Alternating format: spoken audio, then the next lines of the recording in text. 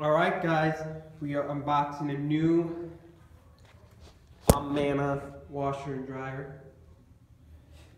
So, with the cup under the bottom of it.